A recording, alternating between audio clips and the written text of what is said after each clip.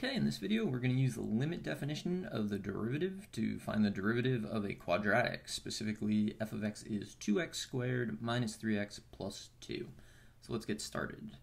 Um, first we need to know what the limit definition says. So it says that f prime of x, so that's the derivative as a function of x, is going to be the limit as h approaches 0, so we're going to have to write that a lot, of f of x plus h minus f of x and then all over h. So that's the difference quotient that you might be familiar with. Um, and I'm kind of color coding things to try to make it a little easier.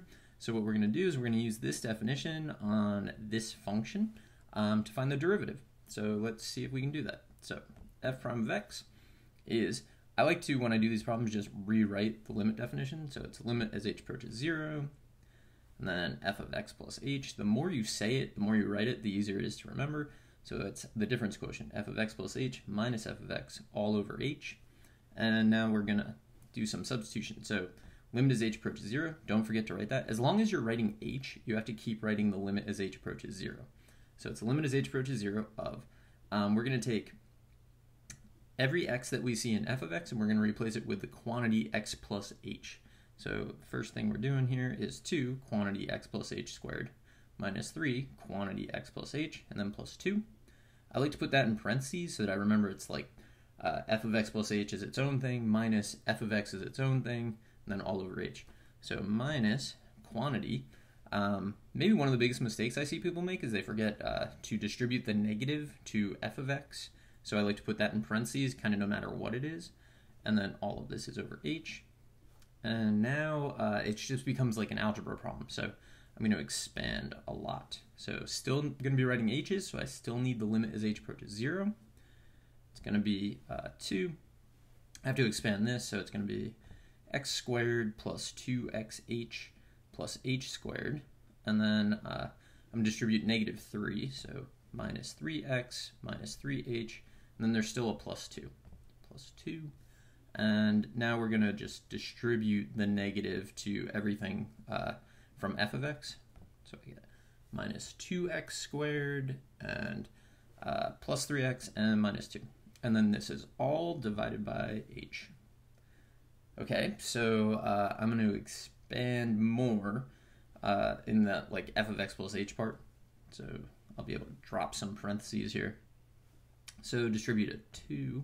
So 2x squared plus 4xh plus 2h squared uh, minus 3x minus 3h plus 2, then minus 2x squared plus 3x minus 2, all divided by h. Uh, I'm obviously out of room, so I'm going to copy pretty much everything over and just kind of keep going. So uh, nothing new here, just copying it. And now I'm going to look through, and at this stage, if everything in the numerator that doesn't have an h doesn't cancel out, so if there's anything that doesn't have an h with it that is still there when I'm done simplifying the numerator, I've done something wrong. Um, so let's see. Uh, the 2x squared and the minus 2x squared are gone. Uh, minus 3x and plus 3x, gone. Plus 2, minus 2, gone. Everything else has an h, so I probably did this right. Um, so I'm going to rewrite it without all those terms. So I still have a 4xh, I still have a 2h squared, I still have a minus 3h, and it's still all divided by h. I can simplify an h out of everything in the numerator, so I'm just going to cancel with the denominator. Limit as h approaches 0, quantity 4x plus 2h minus 3. Okay, at this point, if I let h equal 0, there's no problems. If you look back, every step before this, if h was equal to 0, I would have gotten 0 over 0, which means do more work, basically, with limits. Um, but at this point, if I let h equal 0, I actually just get this, 4x plus 2 times 0 minus 3 which is definitely um, 4x minus 3. So I know f prime of x is 4x minus 3. Just to remind you, we were finding the derivative of f of x is 2x squared minus 3x plus 2. Um, and there you go. So we found the derivative using the limit definition. We wrote limit as h approaches 0 every time as long as we were going to write an h. Um, and we got the answer. So I hope you found this helpful, and good luck.